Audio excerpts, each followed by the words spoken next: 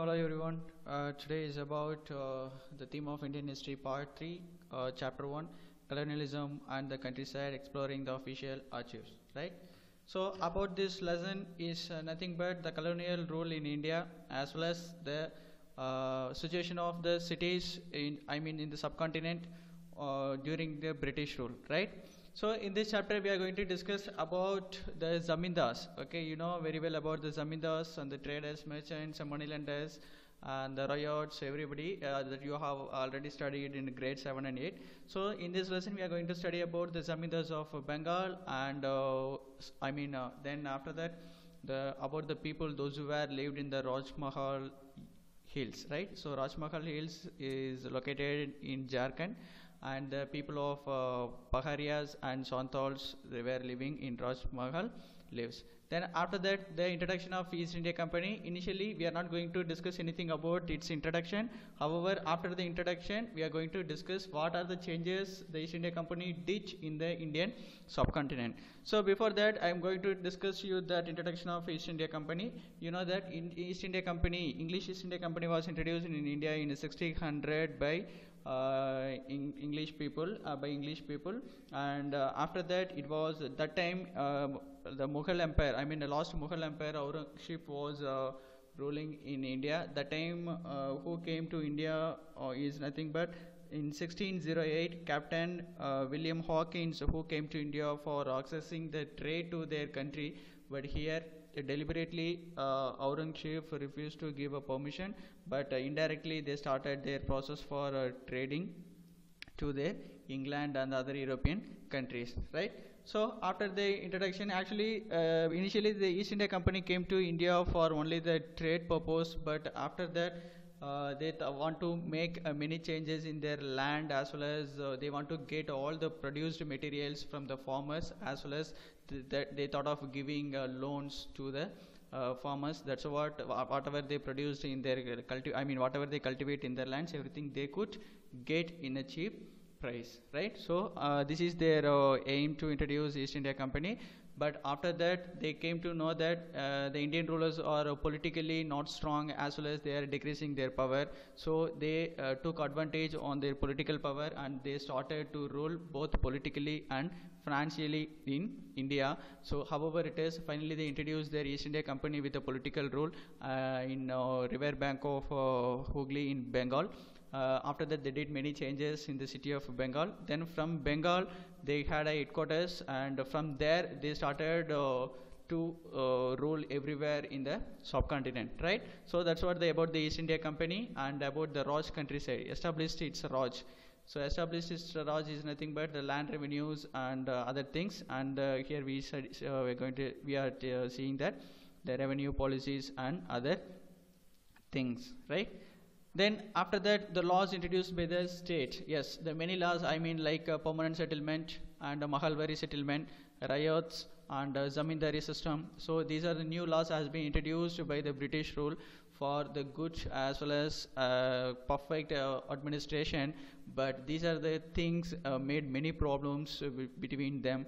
And uh, finally, they suffered a lots and lots, like a great famine in 1770 uh, in Bengal, so that uh, the 10, mi- 10 millions of people were dead of the great famine and the people or i mean the farm peasants I mean, poor peasants or cannot pay their uh, taxes uh, regularly which means you know that sometimes the crops used to grow nicely and sometimes it fail to grow. It depend on the climatical condition so that the people are not in the position to pay regularly in the fixed settle uh, taxes and everything. So these are the things made big problems among the zamindars and the local uh, rajas and uh, mughals every, everybody's right? Then after that the revenue records and the surveys and the journal accounts by surveyors travelers report produced by incurring the commissions. So after that many travelers previously we have discussed that many travelers have been visited india like ibn battuta and uh, Al-Biruni and uh, francis uh, what Frenchman Francis Bernier and etc. So these are the these peoples were left their accounts and the surveys, travelers, etc. So everything has been uh, collected by the collectorate of the every each districts, and uh, from them uh, the people started to know about the past things, right? So in this main thing is about the land system in India as well as the what land system in India and the settlements, uh, permanent settlements, and the taxes were implemented to the peasants and the people. I mean, uh, Rajah started uh, uh, auctioning their land for uh, lease to the zamindars. From zamindars, the local peasants uh, used to purchase the land, not purchase. For lease, they will take as a rent, and from them they want to pay the rent to the zamindars. From zamindars to rajas, right? So these are the things we are going to discuss in this chapter. So first one is Bengal and the Zamindar. So previously we know that uh, East India Company was established in a Bengal, uh, river bank of Hooghly, so that the Bengal was the, their headquarters. Uh, so river bank of uh, Hooghly is located, uh, you know, Hooghly is in Bengal and the Bengal and the Zamindars. So as you know that colonial rule was first established in Bengal. No doubt, colonial rule was first established in Bengal, and it is here that the earliest attempts were made to record the uh, rulers' societies and establish a new regime of land rights and the new revenue system. Let us see what happened in the Bengal in the early years of the company. EIC is the East India Company rule. So you know that what was their main reason to came to India is the, that actually the East India Company's the main reason to came to India is for a trading purpose. But initially they came to know that there were not much uh, ruler as well as uh, not strong ruler in India as well as they are very poor in their administration and everything. So they started to establish their uh, company with uh, both politically and financially. So the main I mean, the main aim of introducing the East India Company in India is nothing but they wanted to change something in their uh, regime is you know that uh, power okay something in their power as well as they want to change the land rights as well as the new revenue system to the indian peasants so uh, what are the causes i mean what are the impact of these new revenue systems made in india that all we are going to discuss in this chapter right So the first one is an auction in Burdwan. So you know that what is auction? Uh, action in Burdwan. Burdwan is the one of the city which is located present in West Bengal, right?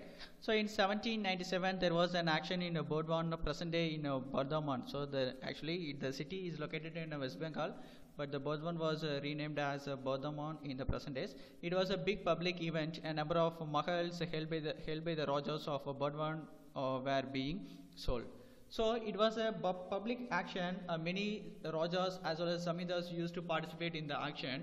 So what they will sell in the action is nothing but the people, I mean, uh, especially uh, the Rajas, right? Especially the Rajas and the kings, whoever is uh, holding the land, they are going to auction it in a public place.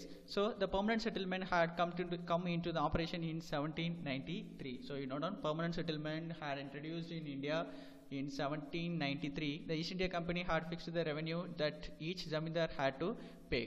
So previously, as I told you that it was in a public event where the auction will be held. So that time, the Rajas, whoever is uh, holding their land, they used to auction their land for a, a huge profit. I mean, uh, for a huge money. So these mon- these uh, lands are going to purchase by these zamindars. So however it is that they are going to purchase, but they are not the owner of the land, but they have to pay the tax to whom?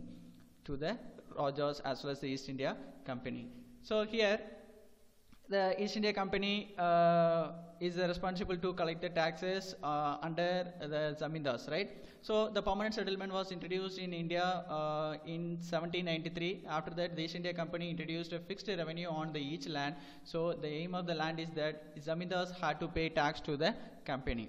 Then the estates of those who fail to pay will be auctioned to recover the revenue. So the estate, whoever is owning, if they fail to pay, I mean if the zamindars or fail to pay the tax to the company, the land will be seized and, find, uh, and then it will be auctioned again to recover the revenue. Since the Raja had accumulated huge arrears, his, uh, his estates had been to put up for auction. So since uh, many uh, demand, I mean uh, many monies or want many revenues or wanted to come, so that's what if anybody didn't pay their taxes, now immediately they will seize the land and they immediately in the very next day they will auction the land for some other zamindars. Numerous purchases came to the numerous purchases came to the auction and the estates were sold in the highest bidders. Bidders is the uh, auctioneer who is asking uh, lands no auctioneer. But the collector soon discovered a strange twist on the tale. Many of the purchasers turned out the servants and the agents of the Rajas who had brought the lands in the behalf of their master. So here uh, you know that a number of actioners as well as the number of numerous purchasers used to come for uh, getting the land, actioning the land. But here one deliberate thing had happened is that many zamindars are used to uh, close with the servants of Rajas as well as the agents through the brokers. You know, through the agents they uh, will get their land with a low cost of uh, profit. But in this, out of 90, 100, 90 percent of the sale at the auction was fictitious. So which means 90% of the sale won't be happen in the uh, auction because which means these all 90 percentage of the lands already uh, booked by the agents as well as the servants of uh, uh, half those who were a connection with the zamindars right? So remaining 5 percentage only will be get by other zamindars and other big uh, purchaser. So the Raja's estate had been publicly sold but they remained in the control of his zamindar right? So the Raja's estates were being sold in the were being sale, sold in the market but these lands will be under the control of zamindar right? These land will be under the control of zamindar which means the zamindars wanted to pay tax to the Rajas. So in this chapter, why some people are failed to uh, pay the revenue and uh, who were the actioners and uh, why, what will happen in the rural areas of uh, eastern India at the time. Uh, what is the story about this land revenue and purchasing the land action and everything that we are going to discuss in the upcoming topics, right? So next one is the problem of unpaid revenue. So as I told you that if any zamindars fail to pay the tax to the Rajas, the land will be seized at the I mean a very next day itself, the land will be auctioned in the market for next zamindars. No? So what are the problems that happen for unpaid revenue?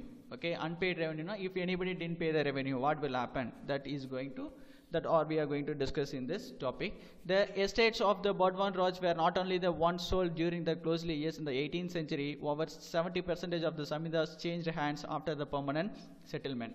So as I told you that in 1793, permanent settlement was introduced by the company and after the permanent settlement, 70% of the have started to uh, hand off hands after the permanent changed hands which means uh, transferring the land to one to another which means they could not pay the tax regularly right so, uh, in introducing the permanent settlement, British officials hoped to resolve the problems they had been facing since the conquest of Bengal. So, after the since the conquest of Bengal, the company is uh, facing the problems of uh, financial as well as the land problems. So, one, they thought that once we introduce the permanent settlement, every problem will be solved. So, we people uh, could get sufficient financial uh, facilities due to by actioning the land, but that is totally wrong by 1770, the rural economy in Bengal was a crisis. The recurrent, the recurrent, recurrent famines in the declining agricultural input. So in the introduction itself, as I told you that the problem of permanent settlement, what? What was the impact of the permanent settlement is nothing but around 1770s there was a great uh, economic uh, economic uh, crisis in Bengal. So 10 million people were dead due to the great famine, right? So officials felt the agriculture trade of the revenue sources of the states could could all be developed by encouraging the investment of the agriculture and this is done by securing the rights of property and uh, property and permanently fixing the rates of the revenue demand. So after the great famine in Bengal at 1770, 10 million people were dead, right? So after that, many officials, I mean the court uh, officers, officials, and the agricultural and the revenue officers are thought that if we develop, I mean if we put more investment on the land, on agriculture, so once the crop good, it, once the crop uh, gives its a good harvest, then we people could earn a plenty of money. As well as if we fix the permanently permanent tax on the land then it will be sufficient to all as well as it will be uh, great financial help to the company. So these are the suggest uh, these are the ideas were suggested by whom the company officials as well as the uh, agricultural officers and etc. If the revenue demand of the state was permanently fixed, the company could look forward the regular flow of revenue, which enter while enterprises, entrepreneurs could feel sure of earning a profit from their investment, since the state were not uh, chiffon off by increasing the claim. So after that, the main important thing is that if the company fixed the permanent settlement, right? If the company fixed the permanent settlement on the lands, then the company could uh, get a regular income, right? Could get a regular income whether uh, the zamindars or the ryots, whether they could uh, harvest or not they, whether they will take a harvest or not that's their problem. But regularly company wanted to get a revenue so that was their main uh, aim to establish this is uh, permanent settlement so that even the entrepreneurs entrepreneurs as i told you know the land were selling in the auction so whoever is purchasing the land they will uh, put uh, their profit on their land. From them they used to uh, lease their land to the local uh, poor peasants so from them they will collect the taxes no? So whoever i mean the entrepreneurs could uh, feel that they will because they are going to invest their money on their purchasing their land so they people also will earn money as well as uh, the company also will earn money regularly. This process officials hoped would lead the emergence of the class of yeoman farmers and the rich landowners, landlo- landowners who would have the capital and enterprise to improve agriculture. So especially if the company introduced the permanent settlement, the lands will be purchased like a yeoman farmer and the land on uh, big landowners and other enterprise owners and everybody because they have a plenty of money. So I think they have uh, good money and uh, every thing so they will improve their agriculture and other things. Nurtured by the british this class would also be loyal to the company. So this class i mean uh, big landowners and the yeoman farmers everybody will be loyal to the company and they won't cheat the company for paying the revenue and etc which was hoped by the british east india company. The problem, however, lay in identifying the individual who could both improve the agricultural and the contract to pay fixed contract to pay the fixed revenue to the state. So after the introduction of the after the introduction of the permanent settlement, it was one of the way to identify the individual who could have more money as well as who could improve the agricultural uh, as well as who had uh, wealth to contact with the company for the revenue of the state. After a prolonged debate uh, amongst the company officials, the permanent settlements was made with the Rajas and uh, taluqdars of Bengal. Note on uh, company finally after the many discussion with the many uh, company officials the permanent settlement was made with Rajas and taluqdars of Bengal. They were now classified as zamindars right? So they were now classified as zamindars. They had to pay uh, the revenue demand uh, that was fixed in uh, perpetuity and uh, the terms of this definition the zamindars was not a landowners in the village but the revenue collector of the state. So as I told you that these lands are sold to the zamindars from zamindars to local peasants and ryots. From them they will get a land, I mean they will get a taxes and from them uh, East India Company will get a taxes, right? So uh, zamindars had several uh, villages under them in company calculation the village within one zamindar form, one zamindari formed one revenue estate so many villages came under the control of the zamindars who had permission to uh, collect the taxes even though they are the owning their land and who put uh, plenty of money on purchasing the land. But however it is they are not the owners of the land but they had rights to collect the taxes from the people as well as they are the tax collectors right? So according to the east india's company's calculation if more than i mean east zamindars sometimes the zamindars had access to rule 400 villages right? Not everybody one or two had access to access 400 village under their control for collecting the taxes. The company fixed the total demand over the entire state whose revenue the Zamindar contracted to pay. So every year the company uh, will fix the total demand over the entire year and from them for uh, periodically the company will collect the taxes from the zamindars.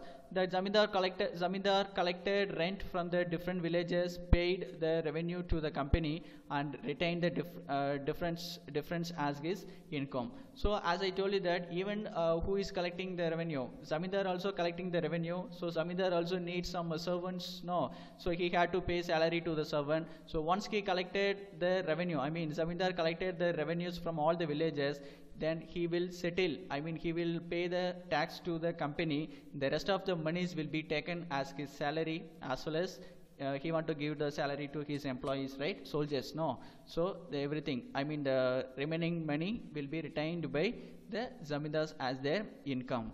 He was expected to pay the company regularly, failing which his estate could be auctioned. So the main rule was put by the company on zamindars is nothing but they want to pay regularly to the company. If they fail to pay the tax to company, the land will be auctioned and the very next day it will be auctioned to uh, some other zamindar, right? So next thing is uh, why zamindars defaulted on payment. So here the question is why zamindars uh, failed to pay the taxes to the uh, company, right? So in the beginning, I mean after the introduction of the East India Company, the company officials thought that uh, the revenue demand, I mean the fixed revenue demand will give uh, zamindars a sense of security as well as the company officials motivated the zamindars to get their investment which they put on their land zone, right? So after that, however, it is, it everything became uh, failed, which means after the introduction of his uh, permanent settlement, zamindars regularly fail to pay the revenue demand and unpaid balances accumulated. So what was the reason and why did they fail to pay the revenue to the company? So here there are four reasons why they fail to pay the taxes regularly, right? How many reasons? Four reasons. The first reason is the initial demands were very high. So you know that when they were uh, auctioning their land, the initial demand was very high. So according to that, it's like a tender. Okay. So according to the uh, initial amount, these zamindars had to get. I mean, these zamindar had to fix the uh, revenue system to the peasants and the ryots okay? So the thing is the initial demand was very high. So how in which basis the company fixed the initial demand is nothing but so company had uh, uh, company had put their view only on the profit manner which means if the crops gives uh, uh, nice cro nice crops and the nice harvest in the year so the uh, zamindars as well as the peasants will earn lots and lots but the company never has their share. So that initially if we put uh, uh, I mean a high demand on their land and uh, even company also will get a regular revenues and everything but in other way they didn't see the failing the crops right so arguing that the burden on zamindars would gradually decline the agricultural production, expand the prices rose. So if the prices increase, right? If the prices increase, the uh, peasants as well as the zamindars will get money, so they will they could pay regularly to the company. But if the crops fail to uh, give its harvest, so in how they will pay the money to the company. So that was the first reason. And the first reason was initial demand was very high. Then the next thing is was the crops failed to grow in 1790, right? Crops failed to grow in 1790s when the prices of agriculture produce were depressed, making it dif uh, difficult to ryots to pay their due to the zamindar. So here ryots is nothing but under the zamindars who were uh, cultivating the lands, right? So in 1790s, the agricultural products, okay, agricultural produce become uh, depressed and uh, it all the crops were failed. So what happened here? The ryots are not supposed to pay their uh, tax to the zamindars. So without collecting the money, how zamindars could pay to the company? Anyway, so that was the second reason they didn't pay the tax. Then the third one is the revenue was invariable and regardless of the harvest and had to be paid regularly. So revenue was invariable. Whether the crops failed or crops harvested nicely, that doesn't matter. But regularly the people wanted to pay tax to the company. So that what is telling about the sunset law, if payment did not come in by sunset of the specified date, the zamindari was liable to be auctioned. Yes, so this is known as sunset law. So what is sunset law? Sunset law is nothing but if the payment, if, I mean if the zamindar did not pay the tax before the sun set, the land as well as the zamindari will be liable to be auctioned, right? I mean the lands will be seized and it will be auctioned to some other zamindar. Then the fourth one is the permanent settlements initially limited power of the zamindar to collect the rent from the ryots and manage his zamindari. So the company provided only limited power to zamindar to to get the taxes from the people as well as to manage his zamindari like uh, paying tax paying salary to his uh, soldiers and everybody so these are the four main reasons why they failed to pay uh, taxes to the company uh, regularly, right? So next one is um, the company had recognized the zamindars as important, but they wanted to control it, so regulate uh, them, subdue their authority, and restrict their autonomy. Uh, the zamindars' troops were disbanded, customs duties abolished, and their kacheris, kacheris courts, uh, brought under the supervision of uh, collector appointed by the company. So after that, there was a big changes which made by the company to the zamindars is nothing but previously we uh, discussed that each and every zamindars is uh, owning uh, for minimum for 300 or 400 villages under their control and to the villages they are the responsible to collect their taxes. So one person cannot collect the taxes for all the villages so they have their soldiers and everybody right? So the after the big changes made by the company uh, to the zamindars is nothing but they abolished i mean disbanded the troops soldiers of the zamindars and the custom duties of zamindars were being abolished. So instead they appointed the collectors for the each districts by the company. So collectors will be supervise the uh, zamindars for collecting the taxes zamindars lost their power to organize the local justice and the local police over time, the collectorate emerged as an alternative center of authority. So here, Jamindars lost their power as well as they doesn't have any power to organize the local justice and the local police. So here, uh, once they appointed the collector for all the districts to supervise, supervise the Zamindars, so here collectors emerged as an alternative center for authority. Severally restricting what what the Zamindars could do in one case when the Raja failed to pay the revenue, the company officials speedily dispatched the Zamindar with explicit instruction to take charge of the district and to use the most effective meaning to destroy all the influence and the authority of the Raja and his officer. So here the thing is the collector is respons responsible for everything as well as he was uh, uh, I mean supervising the zamindar. If any rajas or any zamindars fail to pay the taxes to the company, immediately the troops of the collector will uh, seize all the lands of the zamindar and they will destroy all the things uh, as well as the authorities of the zamindars. As soon as immediately they will seize the lands of the zamindar. So here the collector had much power than zamindar. At the time of uh, rent collection, an officer of the zamindar, usually the amla, so after that, Amla is nothing but the court official, court, uh, just officer of the court. That's it. Uh, in anyway, during the collection time, he doesn't have any power to collect. Just he is a officer of the court, right?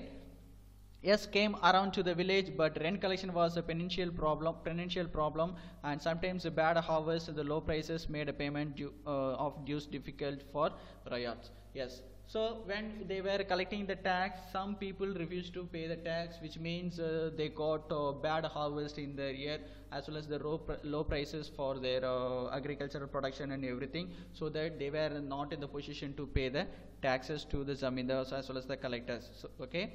So at the time, ryots deliberately uh, delayed payment, reached ryots on the village hitman and the jotedars and the mandals. Jotedar and the mandals are the rich peasants in the village, right? Rich peasants in the village, and they were equal to zamindar, right? Uh, they were not only the rich peasants, but also the money lenders to the uh, poor peasants, right?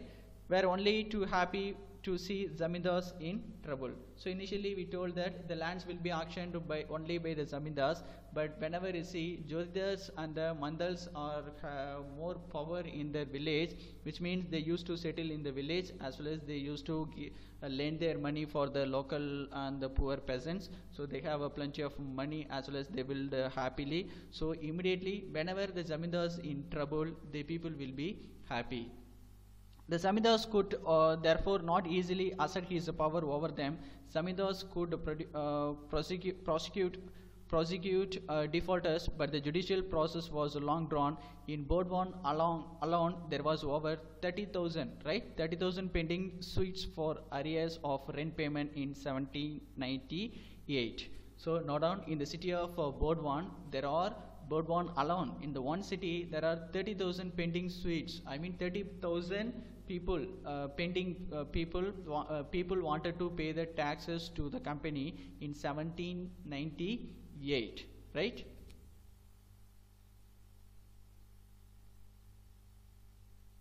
So the rise of Jotidars, right? So previously we discussed about the Jotidars, a group of rich peasants as well as the money lender in the village.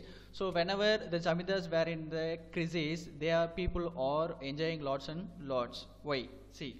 While many zamindars were facing the crisis at the end of the 18th century, a group of rich peasants were consolidating their position in the village. So in the late end of the 18th century, 18th century, what happened? Many zamindars are facing the economic crisis. Okay, facing the problem of economic crisis. At the same time, a group of rich peasants are uh, consolidating their position in the same village. So according to the French, uh, Francis uh, and surveys of the uh, Dinajpur district in North Bengal, what he is telling about the people of Jotedar is nothing but the description of this class is uh, rich peasants known as Jotedars. Yes, so here Francis Buchanan's survey is telling about the rich peasants is known as Jotedars.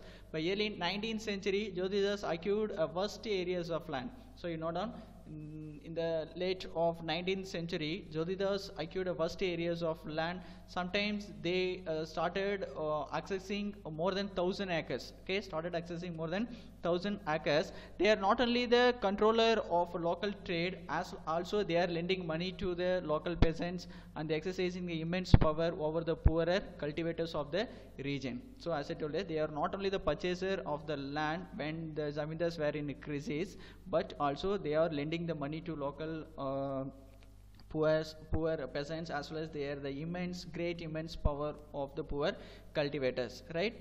So a large part of their land was cultivated through the shop uh, sharecroppers uh, who brought their own plough, labored in the field and handed uh, over half to produce the jotedars after the harvest. So most probably a part of the land was cultivated, part of jotedars land was cultivated by the sh uh, sharecroppers. Sharecroppers is nothing but the people uh, who will share their crops once it cultivated, right?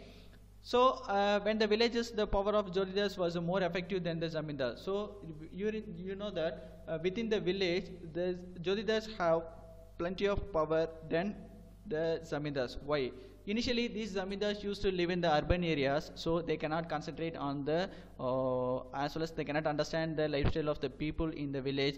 But Jotedars used to locate in the villages so that easily they could control over the people in the poor villages. So they fiercely resisted efforts by zamindars to increase the uh, jama of the village, uh, jama of the village, and they prevented zamindari officials from executing their duties, mobilizing ryots who were dependent on them, and uh, deliberately delayed payment of revenue to the zamindars. In fact, when the estates of the zamindars were actioned for a failure to make uh, make revenue payment, uh, jotedars were often amongst the purchases. So you know that whenever the zamindars were in the economic crisis and whenever the company seized the lands of zamindars, so immediately the next purchaser of the zamindars land will be jotedars, right? Will be jotedars so here we know that Jotedars has a much power in within a village, right? So Jotedars were most powerful in the North Bengal, although rich peasants and the village hetmans were emerging the commanding figures in the countryside in the other parts of Bengal as well. In some places they were called Haoladar. So in some places they were called as a Haoladars and in some places they were called as uh, Gantidars and Mandals. They rise invariably weakened the Zamindars authority. So one side when the, whenever the Zamindars were in economic crisis and another side these Jotedars took their opportunities advantage and they started to improve their lifestyle by purchasing the uh, lands which has been auctioned in the public place right so next one is the system the tax system of the company so you know the company who were the owners of the land right company is the owner of the land so this company will be auctioned to the zamindar. You know, this company is uh, auctioned the land to the zamindars. From zamindars, ryots. Okay, from zamindars, ryots. Ryots used to get the land from this zamindar for a rent, right? Then from ryots, under ryots used to get the uh, land for rent from ryots. So now under royat want to pay tax to the royat and the royat want to pay tax to the zamindar and the zamindar want to pay tax to the company right so this is one process and next one is jotedars here uh, jotedars is the people who is uh, getting land from the zamindar right who is getting land from the zamindars also they are uh, lending money to the royards, right? They are lending money to royards. Uh, once they uh, harvested their crops, the crops should be sold to royards. Okay, and from the royards, the royards they will pay tax to the zamindar. Then under royards, under jotedars, right? Under royards will be there under jotedars. These under uh, royards will be pay tax to the jotedar. Jotedar will pay tax to the zamindar. But however it is, they are the rich people. I mean, owners. I mean, uh, actioning their land. From them, jotedar. Jotedar are the group of people who will get the land from the zamindar, and from them, royards used to get the land as well as the money okay? So this is the company cycle i mean the taxes cycle you know. Zamindars were the responsible for paying revenue to the company uh, distributing the revenue demand over village. So here zamindars were the people who is responsible to pay tax to the company as well as distributing the land to the village people.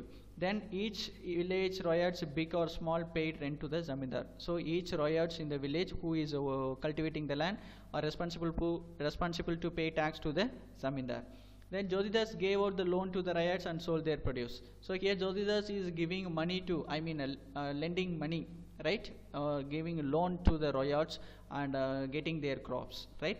Ryots cultivating the some lands and gave out to the rest of the under ryots on rent. So here, how under ryots? What is the under ryots is nothing but the cultivating land more than they cultivated, the extra lands will be given to the under ryots. So the under ryots used to cultivate in the extra land, even though they want to pay tax to the ryots. Under ryots pay rent to the ryots. Okay, so from Jamindar, ryots were getting, from ryots, under ryots were getting. So here from Zamindars, Jotedars were getting. Then from Jotedars, both ryots and under ryots were getting the land. So this is a tax cycle of company, right? So the next thing is about the Zamindars resist. So previously we discussed that in the end of 18th century, uh, the Jotedars are taking much advantage against the Zamindars. So here in the place of uh, here Zamindars wanted to rule, I mean consolidated power strongly than the Jotedars. So they took some um, okay, they took some manvarous ideas as well as tricks to uh, hand over the lands from the Rajas, right? So the authority of the zamindars in rural areas, however, did not collapse. So previously we discussed that most probably the government, I mean the company had seized over all the lands of zamindars due to the uh, due to the failing of paying uh, taxes and everything. But they did not collapse uh, fully, especially in the rural areas. So faced with an ex exorbitantly high revenue demand and the possible actions to their estates, they devised a ways for surprise surviving the pressures, and new contests produce new strategies. So here they took uh, new ideas as well as new ways for uh, surviving and under the pressure of the company as well as the uh, paying taxes to uh, company regularly and etc. So here, what are the things and the, what are the ways they have taken for uh, maintaining their lands as their wish is nothing but so the fictitious sale was one such stra strategy. So not on fictitious sale. So previously we discussed that 90 percentage of the sale or the fictitious one in the uh, public place, right? I mean in the auction 90 percentage of the auction were the fictitious, remaining 5 will be uh, purchased by some other merchants. So here the fictitious sale was one such strategy and it involves a series of uh, manwars, right? So I'll, uh, I already told you that they took some a new series of uh, manwars, right, uh, for uh, withholding their lands by themselves. The Raja of Burdwan, for instance, first formed some, uh, first transferred some of his zamindar to his mother. So here, the first thing is taken by the Raja of Burdwan. So what he did is nothing but he handed over his all the zamindari to his under the control of his mother why he had it over to under the control of his mother is nothing but previously the company fixed the rule that that what? The property of a woman would not be taken over. So the woman whoever is holding their property and uh, these property of the women will not be taken over even if they fail to uh, pay the taxes to the company. So that's what here the Raja of uh, have transferred all his zamindaris to his mother then next thing is the second move is nothing but his agents manipulated the action. So next thing is his agents. Whose agents? Here the Rajas or the Rajas and the Zamindari agents manipulated the action, which means the agents used to purchase the land from the company and uh, which means they will put their investment and they will cut, uh, get the land from the uh, company and after that what happened if they did not pay the money to the company i mean tax to the company again the company will seize the land. Again they will auction. Again next is uh, zamindari agent will purchase the land. Again they will not pay the tax. Again they will seize the land. But finally these lands will be what? Will be sold to low prices to the zamindar. Okay sold at the low prices to the zamindar. So finally the zamindar has never paid the full revenue demand. The company rarely uh, recovered the unpaid balances that had piled up right? So here, as I told you that this circle, first one is the Rajahs were uh, handed over all their zamindaris under their mother control. Why they hand it over to their mother is nothing but the company previously fixed that the property of woman would not be taken over. That's the first thing. Next thing is that the agents of Rajahs were manipulated the action, which means they fixed the agents like brokers, no? First they will purchase the land and see Zamindars been brought the property outbidding other purchases. Subsequently they refuse to pay the pay up the purchase money yes first they will get the money sorry get the land and next thing is they refuse to pay the tax again the land will be seized over and again it will be purchased by next Zamindar's agent and again they will fail to pay money. And again uh, this process okay? So this process will finally endlessly happen. So finally the company started to sell their land at low price to the zamindars. So here uh, many uh, revenues want to come to the company. So however it is rarely they recover okay? Rarely means uh, it's very difficult to recover the uh, taxes from the people so such transactions happened on a great sale between 1793 to 1801 uh, four big zamindars of Bengal including Burdwan and Binami purchases that collectively yield as much as 30 lakh and of the total sale at the auction over 50 15% was fictitious right? So in this such transaction had happened between 1790 through 1800 sorry 1801 so there are four big zamindars in Bengal who were made their binami. So you know the binami? Unnamed properties right? Uh, they made their binami purchases and uh, finally 30 lakhs. They however they totally collectively they yield as much as 30 lakhs. And in this out of the sale of the auction 15 percentage were fictitious right? So there were another ways in which zamindars uh, circumvented displacement. When people from outside the zamindars brought on estates on the auction at an action they could not always take take position. At times their agents would be attacked by uh, lathyals of the former zamindars. Yes. So here if any person uh, purchase the land apart from the particular village or particular area they will be attacked by these lathyals so lathyals is nothing but the person who is very strong as well as who know to handle uh, that stick is there no? So the lathi so these uh, lathyals were arranged by the local as well as the former zamindars and they used to tempt these lathyals to uh, attack the other purchasers right?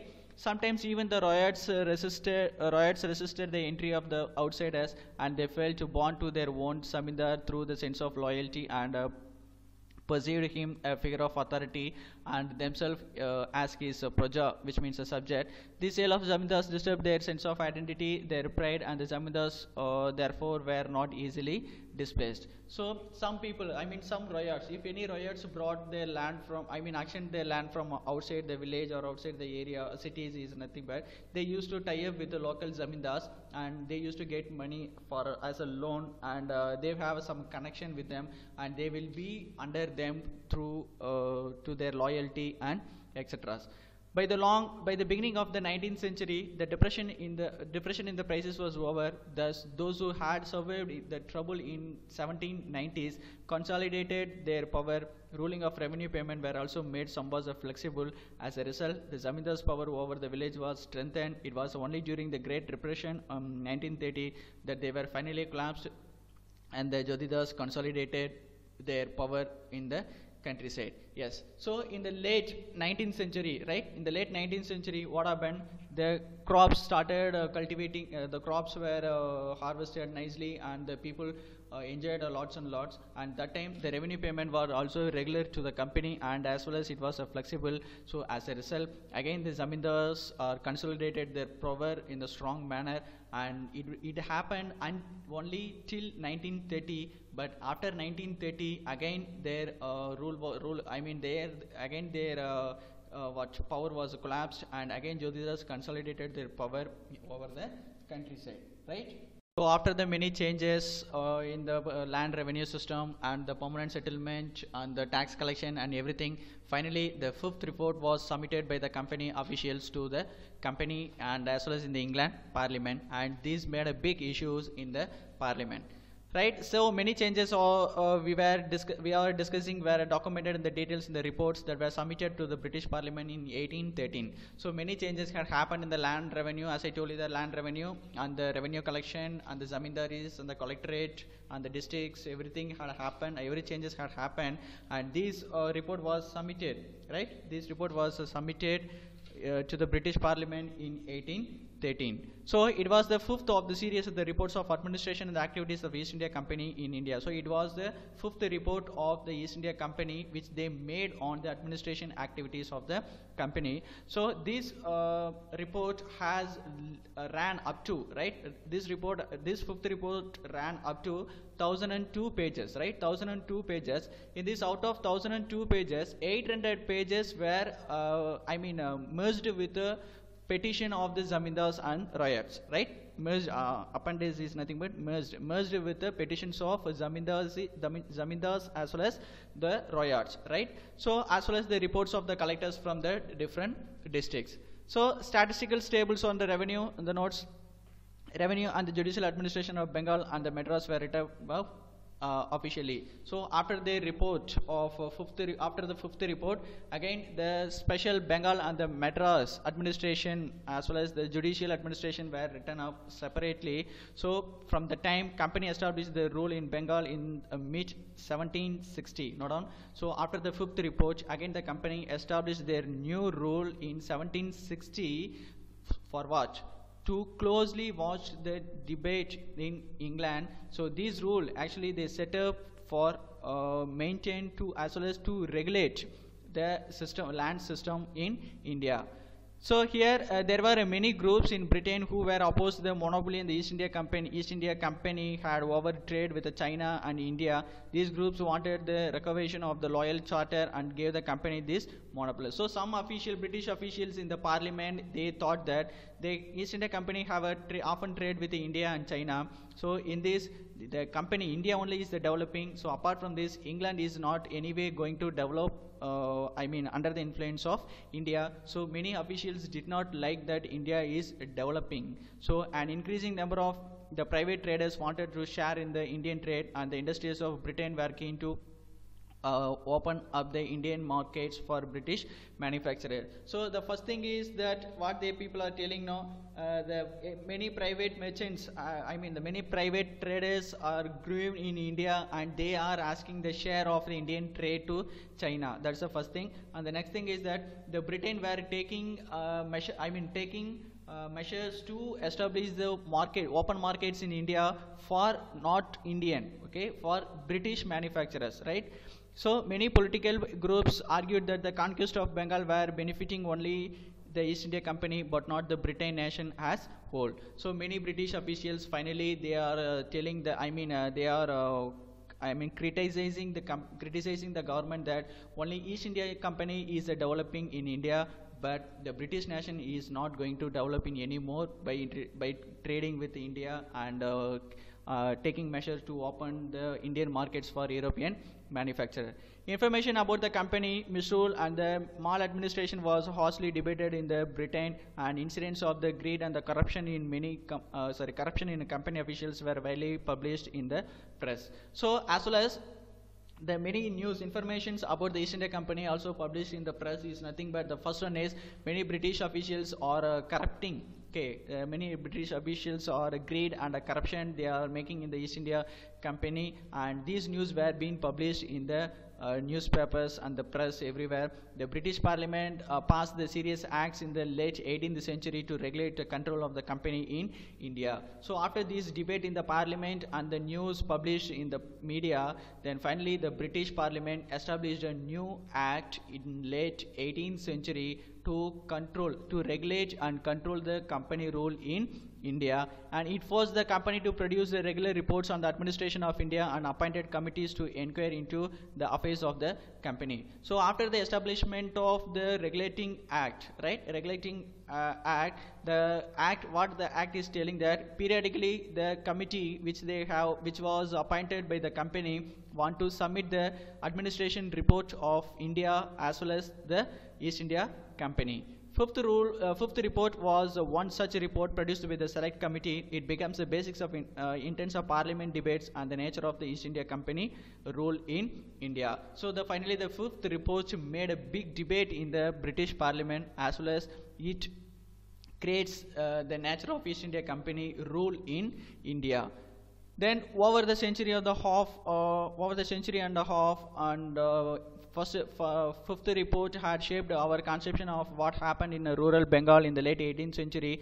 Evidence contained the fifth report is valuable. So after that, what had happened? What are the problems had happened in the late 18th century, especially in Bengal? And this fifth report submitted with a full of evidence, as well as these evidence are very valuable. But the officials' reports like this have to be read carefully. We know we need to know who wrote these reports and why they were written. In fact, recent researchers show that arguments and evidence offered by the fifth report cannot be accepted and critically. So here we want to know that who had written the report and what was their purpose to write this report and some new researchers and the scholars are telling that this won't be accepted in the present days, right? So here researchers have carefully examined the archives in the archives in the various uh, Bengal uh, zamindars and the local records in the districts where write about the history of the colonial rule in Bengal. They indicate that the intent and the criticizing the maladministration of the company. The fifth report extra, extra generate the collapse of the trading traditional zamindari power as also overestimated overestimated the scale on which zamindars were losing their land. So due to the maladministration, so previously we have discussed that maladministration is nothing but the corruption and the greed. So many British officials are involved with the maladministration. So the impact of the maladministration is nothing but the fifth report exaggerate the newses of uh, zamindari power, which means they have totally lost their uh, power I mean, uh, zamindaris were totally lost their power. Also, they were underestimated by the company and they are losing their lands and everything. As we have seen, even when zamindars were actioned, zamindars were not always displaced given the igneous method they used to retain the, uh, retain their zamindar. So you know that the company is, uh, I mean the company ran only with their profits, only the aim of the profits. Once the zamindaris lost, uh, lost their land and when it's action, the company did not give any resolution to the zamindars for, uh, I mean withholding their lands. Instead, they were enjoying by actioning their lands, right? Yes, the regulating act of 1773, uh, right? So in this regulating act, what are the changes made by the company into the uh, Indian subcontinent as well as what are the changes they did in the company and as well as what are the reason behind this act of uh, 1773 that we are going to discuss in this thing, right? Yes. So here the reason behind 1773 Act, the first one is territorial expansion. So here the British wanted to expand their territorial. So previously we discussed that first they introduced territorial uh, company only in Bengal. So here they wanted to expand all over the subcontinent. So that was the first reason. And the next thing is corruption amongst the servants of company. So after the discussion with the British Parliament, the uh, many newses like uh, the British officials were very greed and the corruption and these newses were published in uh, media and everywhere so the corruption amongst the servants of company that the company wanted to uh, what abolish the corruption then next thing is lack of proper judicial administration. So there is no such provision, uh, proper record which was followed by the British officials, I mean the company officials. The next one is lack of proper central authority. So here the lack of central proper authority is nothing but they didn't maintain anything like zamindaris were lost their power and they didn't give any uh, things i mean uh, hints to develop their uh, uh, i mean uh, land system and the surveys and etc then deteriorating financial condition of the company. So the financial condition was totally destroyed in the company. So finally what happened? Company was defeated in 1769 by the hands of Hyder Ali so in fact in the great famine had happened in bengal in 1770 right? Great famine had happened in bengal in 1770 so finally company was very uh, poor in the economic crisis and they started asking loan for 1 million pounds in 1772 to the british people right? So finally uh, the company was very poor in the economic crisis. So they started uh, applying for loan of 1 million pounds in 1772 to the british country right? Yes. So next one is changes. Now we are going to discuss that what are the changes made by the uh, regulating act 1773 so this was the first step by the british government to control over the control as well as to regulate the company as well as the land revenue system and etc. The next thing is it designed the governor of Bengal as the governor general of Bengal. It is important. So it designed the uh, post of uh, governor of Bengal into the governor general of Bengal. So as per this act, the first governor general of Bengal was Lord Warren Hastings, right? So the next thing is the subordinated the governor of Bombay and Madras to the governor general of Bengal. So here the governor of Bombay and Madras will be under the uh, governor general of Bengal and the Supreme Court was established at Williams Fort in Calcutta in 1774. Now done. So new Supreme Court was established in Calcutta, Calcutta 1774 and after that this court comprising one chief judge and three remain other judges. Now done. So first Supreme Court was established in Calcutta at William uh, Williams, Fort Williams in 1774 and this court comprising one chief judge and other three judges. So as per this new act, the new judge, chief judge was Sir Elijah Impey, right? Sir Elijah Impey was the first chief justice of the Supreme Court, right?